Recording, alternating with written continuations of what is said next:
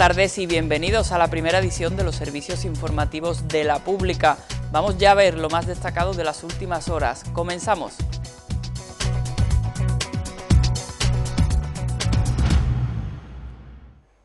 La pasada madrugada ha fallecido a la edad de 84 años el abogado y es político Francisco Olivencia, quien se encontraba retirado de la vida pública desde hace algún tiempo por motivos de salud.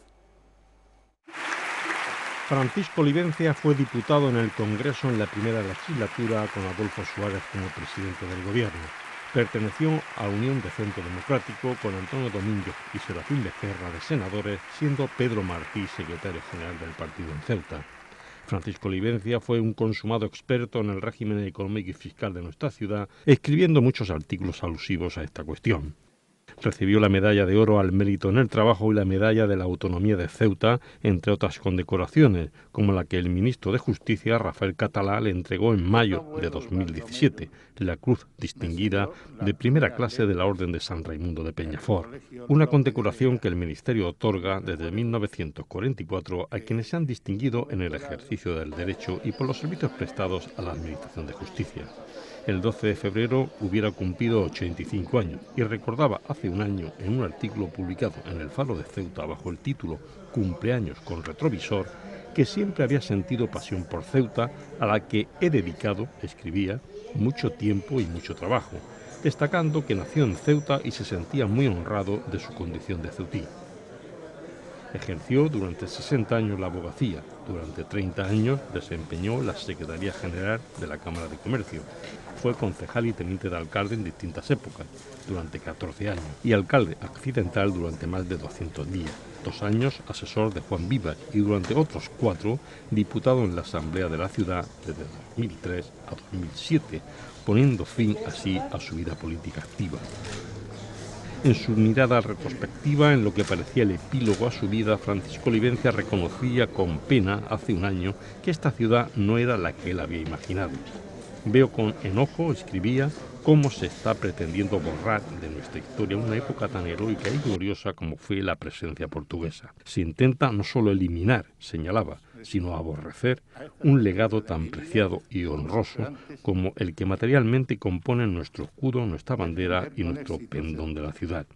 Se pretende diluir nuestra propia esencia en una engañosa multiculturalidad unas reflexiones que casi a modo de epitafio jalonan el sentimiento de un hombre que entregó a su Ceuta natal lo mejor de su vida, su sabiduría. Descanse en paz el inolvidable Paco Olivencia. Muchísimas gracias a todos. El presidente de la ciudad, Juan Vivas, ha dedicado esta mañana unas palabras a la figura de Francisco Olivencia, a quien ha valorado tanto personalmente como por su importancia para la ciudad. Ante el fallecimiento de Francisco Olivencia, el presidente de la ciudad, Juan Vivas, ha destacado la importancia que tenía en su vida personal, considerándolo como una de las personas más decisivas en su vida. Ha señalado también la repercusión de Olivencia para la ciudad, dada su total dedicación a Ceuta. Vivas apuntaba que Francisco Olivencia nacía el mismo año que el himno de Ceuta y ha destacado cómo poseía muchas de las cualidades que en él se atribuyen a la ciudad.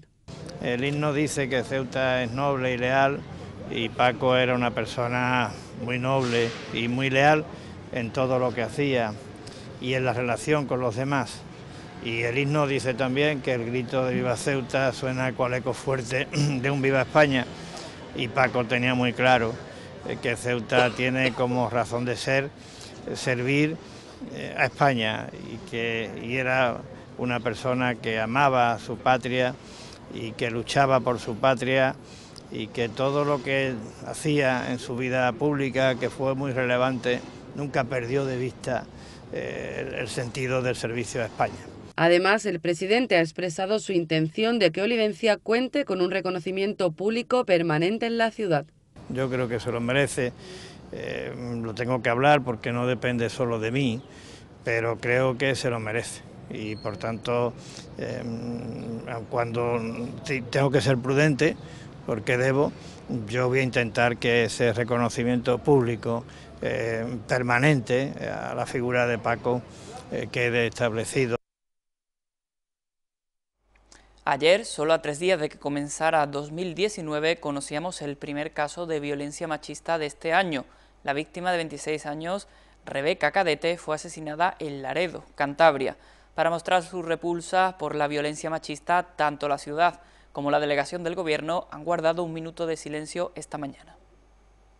Era solo 3 de enero y ya conocíamos a la primera víctima de la violencia machista de 2019. Rebeca Cadete, de 26 años, fue asesinada en Laredo, Cantabria. A las 12 de esta mañana, desde la ciudad, han guardado un minuto de silencio para mostrar su repulsa por este tipo de violencia.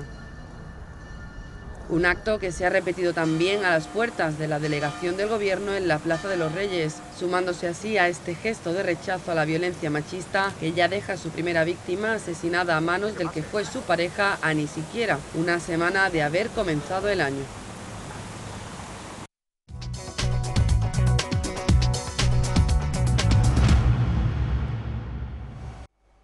Mañana 5 de enero los Reyes Magos llegan a Ceuta.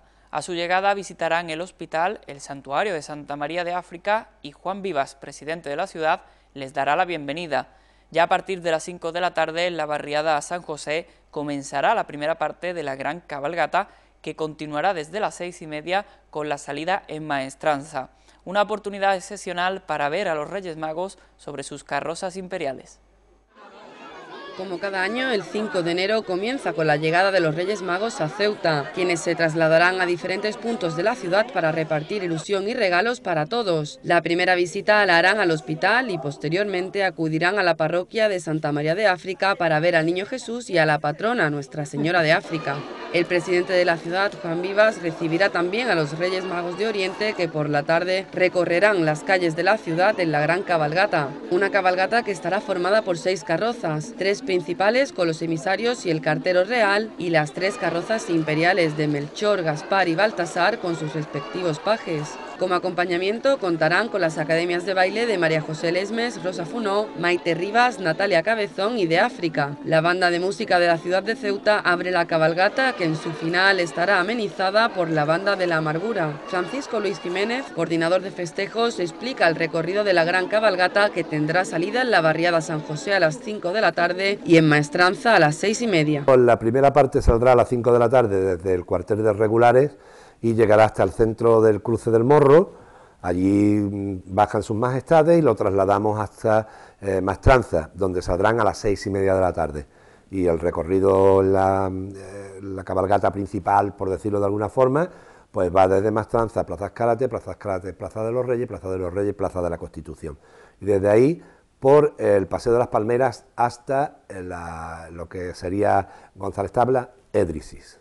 4.000 kilos de caramelos y mucha ilusión se repartirán en una gran cabalgata que nos permitirá ver a los Reyes Magos unas horas antes de que se cuelen en todos los hogares para dejar los regalos bajo el árbol. Lo importante, recuerda Francisco Luis Jiménez, es que los más pequeños disfruten de la cabalgata y de la noche. Que hay que pasárselo muy bien, que hay que tener mucha ilusión, que los niños tienen que ser muy felices, mucho más que los mayores, que no podemos los mayores acaparar el protagonismo que deben de tener los niños. Más de un centenar de personas trabajarán mañana sábado para que la cabalgata se desarrolle sin incidencias. 55 agentes de la policía local que contarán con un refuerzo de la Policía Nacional se encargarán de la seguridad y de la regulación del tráfico. También participarán 26 voluntarios de la Asociación de Voluntarios de Protección Civil. Habrá un dispositivo especial por parte de la empresa Trace, concesionaria del servicio de limpieza viaria, y la policía local ruega a los asistentes que se extreme el control sobre los niños, evitando que estos rompan el cordón policial para la recogida de los caramelos que se lancen desde, las bateas. Las carrozas irán en todo momento acompañadas por policías y personal auxiliar a ambos lados con el objetivo de evitar, cualquier tipo de incidente. Tres personas irán a cada lado de cada una de las cabalgatas de Reyes como medida de seguridad. Es una de las actuaciones contempladas en el dispositivo previsto para la gran cabalgata de sus majestades este sábado. Ha habido una reunión de todos los, actores implicados en la cabalgata, desde Policía Local, Parque Móvil, Bomberos, Protección Civil, etcétera, etcétera. Hubo una reunión ya hace unas tres semanas aproximadamente, donde ya eh, se, acordaron las medidas que había que plantear. Tengo que decirles, como, mm, digamos, sin ánimo de ser demasiado exhaustivo, que va a haber en cada una de las carrozas tres personas en cada lado para evitar que los chavales, sobre todo los chavales, pues puedan ser arrollados por las carrozas, pero también las carrozas eh, llevan unas protecciones laterales también, que era algo que llevábamos pidiendo y que eh, consideramos necesario. Además, el vallado se establecerá a lo largo de todo el recorrido. Que el dispositivo policial va a ser muy importante. Todo el recorrido de la, de la cabalgata va a estar vallado, no solamente en determinadas zonas, como habitualmente hemos visto, sino que hemos llegado a la conclusión de que es necesario eh, vallar todo el recorrido y así, y así se va a hacer. Y recuerden que Radio Televisión Pública de Ceuta estará desde las 6 de la tarde retransmitiendo la cabalgata de Reyes Magos. Estaremos en la Plaza de los Reyes. Y continuamos con más noticias que nos trae hoy la actualidad, porque la Plaza Nelson Mandela acoge este viernes el primer mercado artesanal compuesto por 21 stands, además de propuestas como la realización de talleres y actividades relacionadas con el periodo navideño. La Consejería de Educación y Cultura ha organizado la primera edición del año del Mercado Artesano, una cita donde el visitante puede encontrar productos como complementos textiles o de cuero, así como corcho, estampaciones, bisutería, joyería, calzado o cuadros, entre otros artículos. En total participan un total de 21 artesanos instalados en 29 mesas. Pues mira, traemos cositas nuevas para los últimos detallitos de Reyes. Por ejemplo, esto de aquí, ¿vale? Que son lágrimas de ángel, que son amuletos de protección. Traemos aromaterapia, que son perfumeros, que se abren, se empapa el fieltro en perfume, ¿vale? Y se puede ir cambiando perfectamente. Pues mira, todas las libretas son nuevas, los lápices, las felpas, aquello también, neceseres, cuellos, un poquito de todo. Este mercado pretende ser un lugar para el encuentro y la participación de los artesanos ceutíes y de las asociaciones que también confeccionan los productos hechos a mano y cuyas ventas también ayudan a la realización de sus actividades. A ver, eh, yo no me puedo quejar. Yo desde que estamos, nos estamos poniendo, para mí es una venta diaria y además buena. ¿Qué ocurre? Necesitamos más artesanos y que el mercado sea de más artesanía. Yo entiendo que todo el mundo se tiene que poner, pero hay que diferenciar lo que es la manualidad de la artesanía. Entonces, mm, ahí lo dejo. A esta actividad artesanal se suman otras complementarias de dinamización como los cantajuegos de Ana en Reyes, el ballet de Ana Funaut o la actuación del grupo Plaza Vieja Covers. Que no es lo mismo en casa que lo hagas, que lo pongas aquí, la gente pueda ver y escoger lo que quiera. ¿Y qué tal? ¿Qué tal el cliente? Bueno, un poco durillo, les cuesta, pero bueno, ahí vamos, ahí vamos. Por otra parte, el siguiente mercado artesanal tendrá lugar el día 3 de febrero. El plazo de presentación de solicitudes será entre el 14 y el 25 de enero.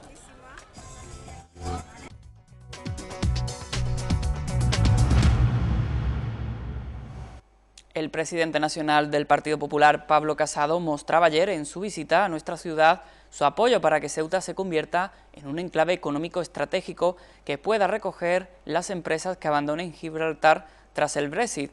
En este sentido, el portavoz del Ejecutivo local ha afirmado que el gobierno local lleva ya meses trabajando en esta línea y que incluso la consejera de Hacienda está presente en la próxima Feria Internacional de Juego Online somos vecinos y creo que debemos llevarnos bien, pero sí que si hay empresas que desde luego ven más interesante eh, eh, irse de Gibraltar y radicarse en algún otro lugar, desde luego Ceuta estamos ofreciéndonos, como no puede ser de otra forma. Eh, saben ustedes que la consejera de Hacienda pues, ha acompañado a un equipo para ir a la próxima Feria Internacional de Juego Online, es decir, estamos, estamos trabajando en ello, pero desde hace ya varios meses es una posibilidad de desarrollo para Ceuta que no vamos a dejar pasar.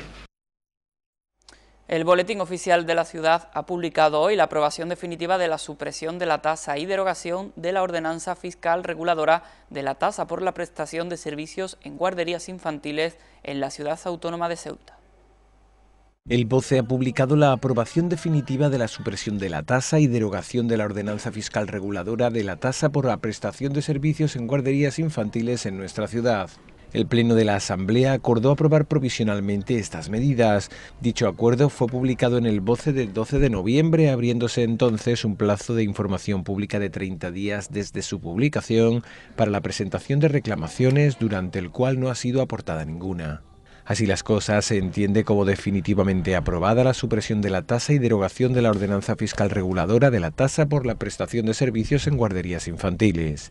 Contra esta resolución podrá interponerse recurso contencioso administrativo en el juzgado de lo contencioso administrativo número 1 de Ceuta en el plazo de dos meses. Asimismo, podrán interponerse cualquiera otros recursos que estimen convenientes a sus derechos. Tras la aprobación de la subida del salario mínimo interprofesional por parte del Gobierno central, el Ejecutivo Ceutí está estudiando ya cómo aplicar dicha subida a las remuneraciones del plan de empleo. El gobierno local estudia ya cómo aplicar la subida del salario mínimo interprofesional al plan de empleo, tal y como han solicitado los sindicatos. En este momento están eh, cuantificando de qué estamos hablando, ¿eh? de qué importe estamos hablando. Parece ser que no va a ser un importe inasumible, parece ser en principio, pero en cualquier caso tenemos que saber en qué escenario nos movemos y, lo primero que tenemos que saber cómo va a repercutir eso en las arcas. Posteriormente, cuando ya tengamos ese dato, eh, va a haber una reunión con la mesa negociadora y allí desde luego se acordarán por lo que procese, lo que proceda, lo que proceda, lo que proceda acordar. Pero en principio nosotros estamos siempre por cumplir la ley y la ley si así lo dice, desde luego la vamos a cumplir. Esto no quita para que el Ejecutivo quiera conocer por qué no se ha contemplado el plus de residencia en el Real Decreto que fijaba esta subida del salario mínimo. Sí que es una pregunta que vamos a hacer a, quien, corresponde. Desde luego que sí que, nos vamos a interesar. Alguna razón ha debido haber desde luego para que no se haya tenido en cuenta. Si ha sido un olvido, indudablemente estamos seguros de que se subsanará y si hay alguna razón, pues desde luego atenderemos a ella. El Consejo de Gobierno local ha aprobado hoy encargar a Traxa diversas actuaciones de adesentamiento en varias zonas de la ciudad. El importe es de 3 millones de euros y el plazo de ejecución de las labores es de 12 meses. Se trata de lugares no contemplados en el contrato de limpieza y que son de difícil acceso. 1.627 personas fueron dadas de baja en el padrón municipal durante el recién año finalizado. A las 807 bajas hechas públicas por el Consejo de Empadronamiento se suman las 820 catalogadas como inscripción indebida. Este 4 de enero se celebra el Día Mundial del Braille. Se trata, como saben, del sistema alfabético en relieve destinado a las personas invidentes. Este viernes se celebra el Día Mundial del Braille con el fin de crear mayor conciencia sobre la importancia de este medio de comunicación para la plena realización de los derechos humanos para las personas ciegas y con deficiencia visual. Esta fecha se eligió porque coincide con la de nacimiento del creador de este sistema de escritura y de lectura táctil, Luis Braille, el 4 de enero de 1809 en Francia. Es un sistema alfabético en relieve ideado para representar las letras, los signos de puntuación, los números, la grafía científica, los símbolos matemáticos y la música. Consiste en celdas de seis puntos en relieve organizados como una matriz de tres filas por dos columnas que convencionalmente se enumeran de arriba a abajo y de izquierda a derecha. La presencia o ausencia de puntos permite la codificación de los símbolos. Mediante estos seis puntos se obtienen 64 combinaciones diferentes. Existen además signos diferenciadores especiales para convertir a una letra en mayúscula, bastardilla, número o nota musical.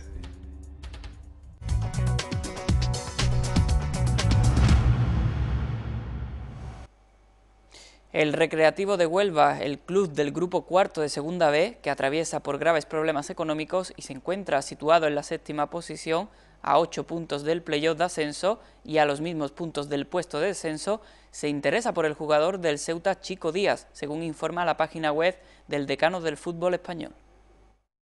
Bajo el título Chico Díaz, la apuesta para reforzar la línea de ataque, la web del decano del fútbol español, el Recativo de Huelva, señala que el veterano delantero Chico Díaz, actualmente en las filas del Ceuta, es uno de los objetivos que maneja el club para reforzarse en el mercado invernal. La llegada de Chico sería como recambio para Calle Quintana y Quiles. Los 11 goles que lleva anotados el jugador del Ceuta han sido un atractivo. Se trata de un jugador destacado en la categoría. El recativo de Huelva se ha fijado en este trotamundos del fútbol por tratarse de un consumado goleador en categorías inferiores. A sus 32 años, dice la web del recreativo de Huelva, Ha pasado por equipos de tercera como el Toledo, Olímpico de Totana, Almería B, Jerez, Coria, San Roque de Lepe, San Juan, Nebrizana, Los Barrios y Algeciras. Y en segunda vez su trayectoria ha sido en El Ejido, Alcalá, Balona, Fuenlabrada y Sanluqueño. Su espíritu combativo y capacidad goleadora es destacada en la web del Recativo de Huelva.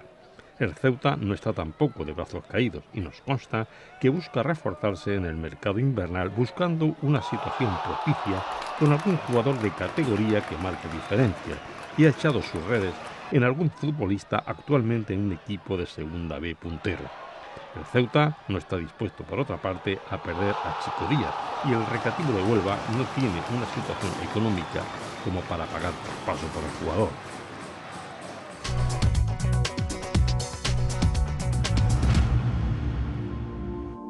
Vamos a continuación a ver el tiempo para los próximos días. Mañana tendremos cielos parcialmente despejados con temperaturas desde los 13 grados de mínima hasta los 17 de máxima. El viento soplará moderado de levante.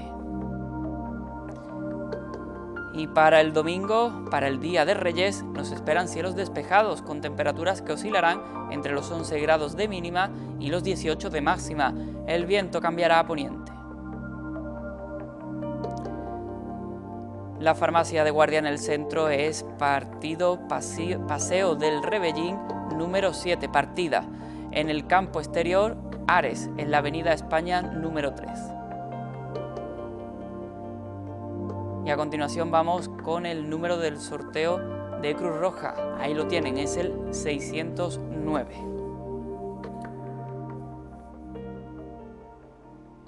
Y como les recordábamos durante este informativo mañana, a partir de las seis y media de la tarde, desde la Radiotelevisión Pública de Ceuta, les retransmitiremos en directo la cabalgata de Reyes. Será desde la Plaza de los Reyes. Y anoche tuvo lugar en el Teatro Auditorio del Rebellín el tradicional concierto de Año Nuevo. En esta ocasión estuvo a cargo de la Orquesta Metropolitan de Madrid y con la participación de la soprano Lucía Millán. Un concierto que podremos ver íntegramente esta noche tras el informativo. Con él nos despedimos y nosotros volvemos a las ocho y media con más información. Gracias por estar ahí. Adiós.